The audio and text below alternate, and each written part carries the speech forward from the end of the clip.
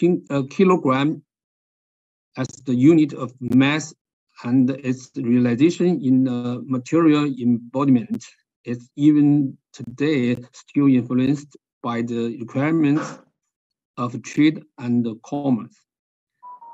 In physics today, other units of mass based on the atomic constants, such as the atomic unit of mass or the electron volt, are now used to form a stronger link between research and the everyday life, and also to be able to maintain the constancy of the unit of mass in the future.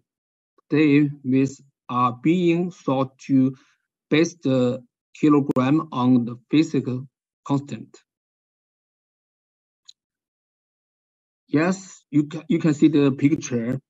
The picture is very interesting. The picture is from the Book of the Dead in Egypt. I believe some people have read this book. The final and the most important stage in the journey of the dead was the chill in the hall of the judgment.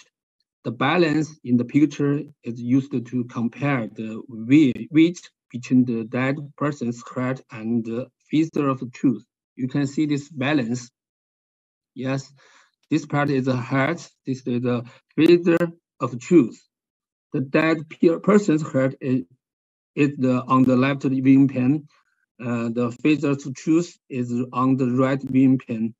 If their heart proved too heavy, they would uh, condemn and eaten by the monstrous devil.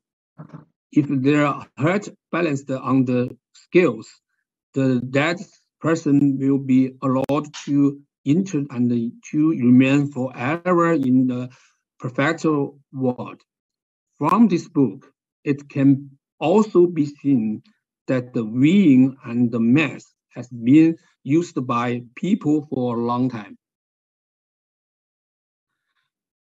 Since antiquity, a great, a great variety of very uh, different mass standards is for, the, uh, for an intended purpose has been discovered.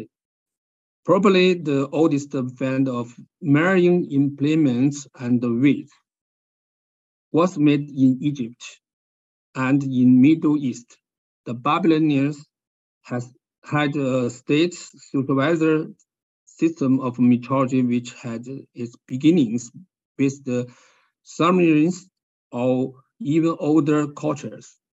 Besides which, bearing the mark of the rule to attest to their correctness, measures of length chilled into status have also been formed.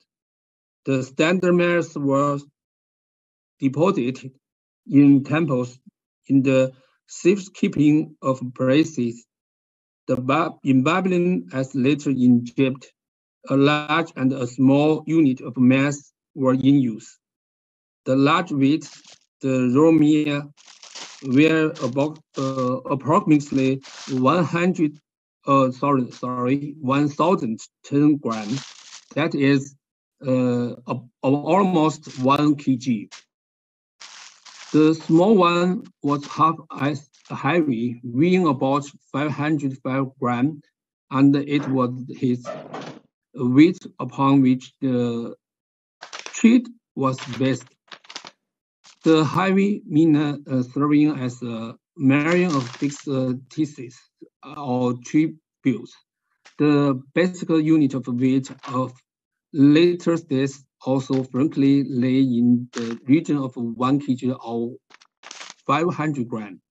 Together with the length and the time, mass was probably one of the first um, physical uh, quantities that men attempted to measure.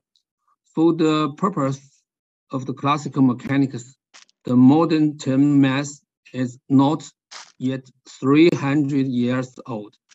Before this, the term which was used as indeed it still is color quantities.